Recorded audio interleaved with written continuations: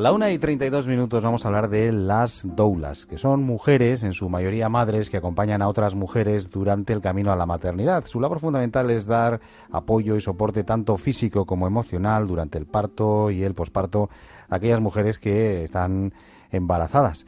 Y hoy en eh, Iruña se ha presentado la Asociación de Doulas de Navarra. Sí, es la primera formación de doulas. Queremos conocer el trabajo que hacen porque, bueno, nos lleva a retrotraernos en el tiempo, ¿no? Y quizás a mm, trabajos que se hacían antaño, pero que ahora pensábamos que habían desaparecido. Bueno, ¿hasta dónde llegan las responsabilidades y las obligaciones de las doulas y hasta dónde llegan las de la propia madre, ¿no? O la de los propios eh, progenitores? Lo vamos a conocer ahora mismo. Mm, vamos a saludar a Noemí Lázaro. ¿Qué tal, Noemí? Hola, buenos días, muy bien. Buenos días. ¿Eres doula? Yo soy doula, sí. Ajá, ¿y, está bien la definición que hemos hecho de mujeres, en su mayoría madres que acompañan a otras mujeres? Exacto, es una figura de acompañamiento emocional para las mujeres y también su entorno en todo el proceso perinatal que constituye todo el embarazo, el parto y el posparto. Exacto. Eh, ¿Dónde comienza vuestro trabajo? ¿En el momento en el que una mujer se queda ya embarazada, eh, ya puede llamaros a vosotras desde el primer eh, mes? Sí, claro, en el momento que la mujer lo sienta. Normalmente se suele hacer más avanzado en el embarazo, pero también dependiendo de las necesidades de una mujer, si necesita sentirse acompañada y tener información para elegir qué tipo de parto eh, quiere, quiere poder tener, si necesita apoyo emocional porque su situación en ese momento es complicada, si quiere poder elegir, si quiere poder conocer cuál es el proceso fisiológico por el que está atravesando, bueno, puede, puede elegir en qué momento del embarazo contactar con una doula. Mm, pero para eso no están ya las matronas y los ginecólogos o ginecólogas. Bueno, esto es muy importante de entender. Las doulas no es un personal, no es personal sanitario. Eh, desde luego las matronas, los ginecólogos, las ginecólogas tienen su, su papel, su papel es sanitario y desde luego ahí no entra una doula en absoluto. El acompañamiento que hace la doula es mucho más a nivel emocional. Digamos que sería lo que antiguamente era tu madre, tu vecina, tu hermana, tu, tu prima, ¿no? Que eran mujeres que te acompañaban y simplemente te recordaban lo poderosa que eras y que tú tenías capacidad de, de dar a luz, que tenías capacidad de llevar a cabo una crianza. Entonces, en ese sentido, no tiene nada que ver con el papel que tiene el personal sanitario, ¿no? ¿Este acompañamiento se hace de manera personalizada eh, o, tenéis a diferentes personas que están en esta misma situación y las guía una única doula? No, es un proceso personal, es un proceso personal porque se habla de, claro, es el proceso de la pero también de su entorno, ¿no? Su compañero y, las personas que le rodean, porque al final, al fin y al cabo, un nacimiento produce un cambio en toda la familia. Entonces es un proceso muy personal y, y tiene que ver mucho con lo emocional, con lo íntimo, con lo entrañable. Entonces sí que hay una parte de información, eh, pero se da la información desde la necesidad de la mujer en ese momento. Es como muy muy específico. eh, por cierto, eh, Noemí, ¿cómo se decide ser doula? Bueno, en mi caso era conocí yo a una mujer que había hecho la formación de doula y habló de, de la formación como un viaje hacia lo femenino, hacia eh, otra forma de entender qué es ser mujer y, yo en mi caso vi semejante brillo en sus ojos que dije, Ay, yo quiero tener eso. Y entonces así, así empecé yo, ¿no? Bueno, hay otras mujeres que lo hacen una vez que han tenido su experiencia como madres y se han sentido bastante frustradas en algunos aspectos y quieren poder como reelaborar qué sucede allí. Otras mujeres lo ven como una llegan a la formación eh, por inquietud personal, otras por una forma de complementar profesionalmente. Bueno, supongo que hay tantas motivaciones como, como personas. Cuando dices formación, ¿se supone que hay alguna especie de escuela o algún centro formativo para eh, hacer que una mujer sea doula?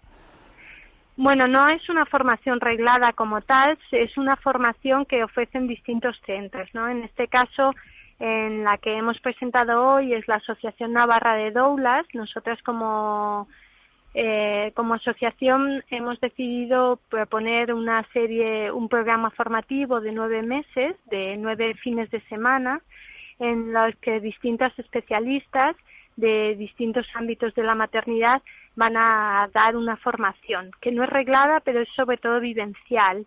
Y, y que en mi caso yo la hice en Madrid y el resto de doulas de la Asociación de Navarra pues la hicieron en Bilbao o en o en Barcelona, es decir, que hasta ahora se ha hecho en distintas ciudades y ahora la vamos a proponer hacerla en, en Pamplona.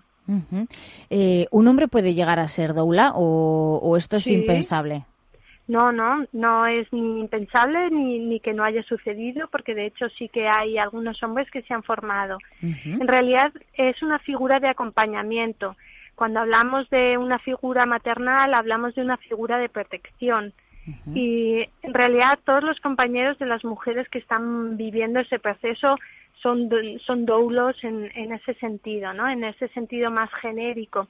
En un sentido más específico sí que hay hombres que pueden eh, interesarse por, por este aspecto de la maternidad y acompañar también a mujeres, porque lo que se hace es dar el espacio a la mujer para que pueda vivir ese proceso, ¿no? eh, tan personal y tan íntimo de una desde un lugar de respeto y desde un lugar en el que se siente poderosa y que mm, y que puede elegir. Supongo que vuestro trabajo también finaliza en el momento en el que se delimita, ¿no? Una línea en el que esta madre delimita una línea o esta pareja o bueno las personas que estén implicadas dentro de, bueno pues de traer un, un hijo o una hija al mundo. Lo digo porque, claro, son momentos donde quizás eh, os entrometéis, ¿no? Bueno, ese es el. A mí me gusta mucho una imagen que dice que la doula en realidad es como un gato, ¿no? Está allí, está presente, se le nota, pero, pero no demasiado. Entonces, eh, el objetivo de la doula es que la vida de la familia se debe de la manera más armónica y ahí interferir lo menos posible y sin embargo tener el punto en el momento adecuado para que algo que se estaba desviando vuelva a estar en su en su lugar y, y, permita una situación armónica. En ese sentido, el trabajo de la doula es eh, mejor cuanto menos necesaria es cuanto más da los recursos al entorno de la mujer y a la mujer para que ellos se gestionen y sigan su, su proceso personal y familiar. Decíamos que acompañaban el proceso del embarazo, del parto y el posparto. ¿Cuándo finaliza el trabajo de una doula? Bueno, eso depende de cada caso, ¿no? Un, caso normal podrían ser tres, cuatro meses después del nacimiento, pero también hay pospartos o puerperios que son más complejos por la vivencia que ha tenido la mujer en el parto o por las circunstancias de la mujer. En esos casos se puede ampliar. En este caso, eh, nunca se puede hablar de, de procesos estándares porque no existe un estándar. Existe lo que suele pasar pero cada caso es muy personalizado. Pero bueno, digamos que tres, cuatro meses sería algo normal, ¿no? ¿Vuestro trabajo también trasciende de ese acompañamiento? Es decir, ¿os encargáis también del cuidado de ese niño, de esa niña? No, del cuidado se encarga la prioritariamente la madre o el entorno. No, no tiene ese papel. Lo que hacemos es apoyar para que la madre y el padre lo puedan hacer para que tengan los recursos, para que tengan la capacidad emocional de, de, poder estar presentes en un momento de tanta demanda, ¿no? Porque un, un bebé recién nacido es un ser que tiene grandes demandas y ahí pues uno se enfrenta con también sus fantasmas, ¿no? De sus propias necesidades. Entonces, la idea no es sustituir a los padres sino o a la madre, sino realmente permitirles ser más madre y más padre, ¿no? Que estén más presentes en su propio papel, más que sustituirlos. Sin duda, porque son momentos para la madre y para el padre eh, de muchísimas incógnitas, ¿no? Y de muchísimos miedos a los que enfrentarse, sobre todo la primera vez, ¿no? Con, con el primer hijo. Luego ya, supongo que esto se supera, ¿no? Claro, el tema es que estamos en una sociedad en la que eh, la mayoría, en muchísimos casos, el primer bebé que tiene una mujer entre sus brazos es el suyo propio. Cuando estábamos pensando anterior, en, momentos históricos anteriores, eh, para cuando tú tenías tu propio hijo, habías tenido a tus hijos, a tus hermanos, a tus primos, a tus vecinos. Es decir, el mundo de la crianza estaba mucho más normalizado y más integrado en la vida de las mujeres. Entonces, eh, por una parte, para la mujer es un reto, ¿no? Que la primera criatura que tiene entre sus brazos es su propio hijo.